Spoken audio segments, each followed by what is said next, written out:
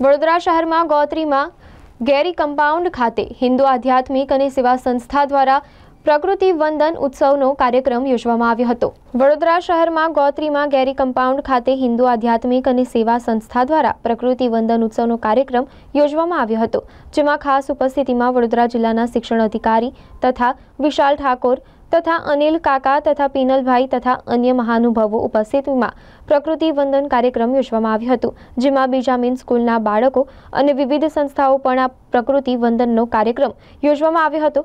સાથે વૃક્ષારોપણ કરવામાં આવ્યું હતું, જેમાં ગેરી કમ્પાઉન્ડ ખાતે અત્યાર સુધી એક હજાર આઠસોથી વધારે વૃક્ષો રોપવામાં આવ્યા છે, જેમાં મોટી સંખ્યામાં લોકોએ હાજરી આપી હતી. હિન્દુ સ્પિરિચ્યુઅલ એન્ડ સર્વિસ ફાઉન્ડેશનના વડોદરા ચેપ્ટર તરફથી આજે વડોદરા જિલ્લાનો પહેલવેલો પ્રકૃતિ વંદાનો કાર્યક્રમ કરવામાં આવ્યો હતો. ગયા મહિને ગુરુવંદાનો કાર્યક્રમ પણ મોટા પાયે થયો હતો. આ આ મહિનામાં એટલે આ કાર્યક્રમની અંદર આશરે એકાવન હજાર જેટલા વિદ્યાર્થીઓએ ભાગ લીધો છે આખા વડોદરા જિલ્લામાંથી.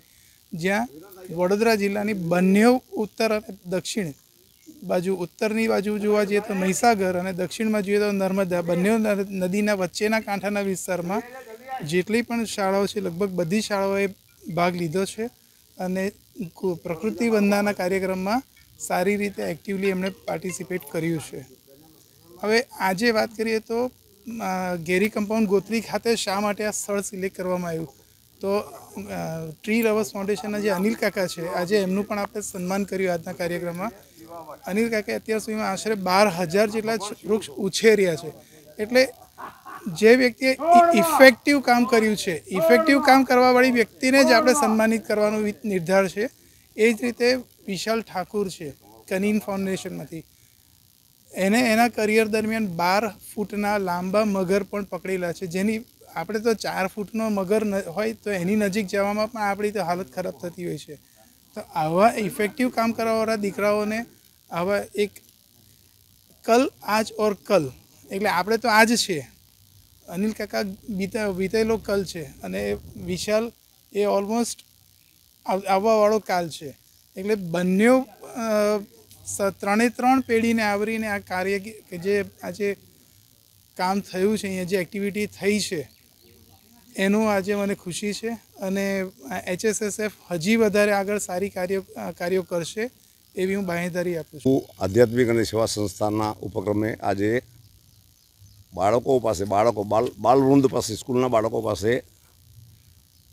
જિલ્લા શિક્ષણ અધિકારી, બીજા અધિકારીઓ, શિક્ષકોની હાજરીમાં તરુવંદના કાર્યક્રમ, એટલે વૃક્ષવંદના કાર્યક્રમ આયોજિત કર્યો હતો. એ લોકોએ સંસ્થાને એચબીસીએ અને એના ઉપક્રમે ગેરી ગોત્રીના વિભાગ ત્રણમાં નાનકડી સભા કરી.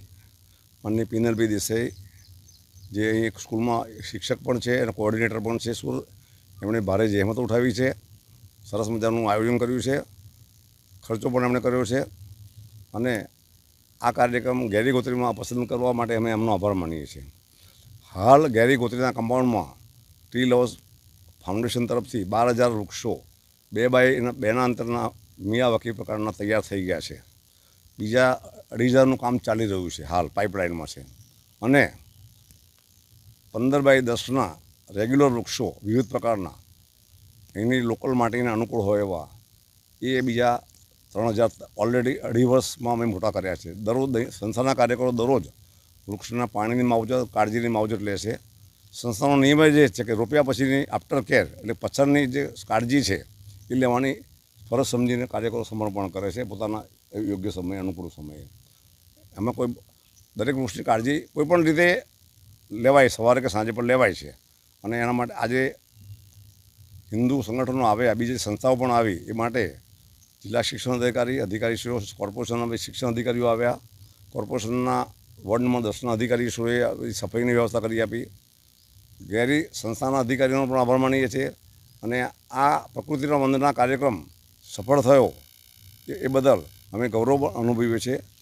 આ સંસ્થાને જ્યારે બી જ્યાં જરૂર હોય આ આવા કાર્યક્રમોની, તો અમે એમને સાથે છીએ. એનું એશ્યોરન્સ આપું જોઈએ. અઢાર હજાર વૃક્ષોનું પ્લાન્ટેશન થશે. એના એક નાનકડા ભાગ સ્વરૂપે બધાએ પોતાનો સહયોગ આપ્યો. શાળાના વિદ્યાર્થીઓ હતા જેમણે વૃક્ષારોપણ કરીને એમને પણ એક સુખદ અનુભૂતિ થઈ છે.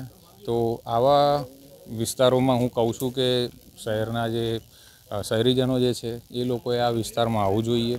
અહીંનું ઓક્સિજન લેવલ બહુ સારું છે. વૃક્ષો જે અહીંયા ઉછેર કરવામાં આવ્યો છે. અને દર સન્ડે સવાર સાડા નવ વાગ્યાની આજુબાજુ કંઈ આ વૃક્ષારોપણ પણ થતું હોય છે. તો એક રવિવારે જો તમારી પાસે ફ્રી ટાઈમ હોય તો તમે પણ આવો ટ્રી લવર્સ ગ્રુપ સાથે જોડાઓ. અને અહીંયા જે વૃક્ષારોપણ થઈ રહ્યું છે, એમાં એઝ અ વોલેન્ટિયરિંગ કરીને વધુમાં વધુ વૃક્ષો વાવવામાં આ ગ્રુપની મદદ કરો. તમારા દ્વારા વાવેલું એક વૃક્ષ કદાચ આ વીસ, ત્રીસ, ચાલીસ વર્ષ પછી એક મોટું વટ વૃક્ષ થઈ ગયું હશે. અને આવનારા સમયમાં આપણને ખબર છે કે જે રીતનું પોલ્યુશન ધીમે ધીમે વધી રહ્યું છે, વાહનો વધી રહ્યા છે.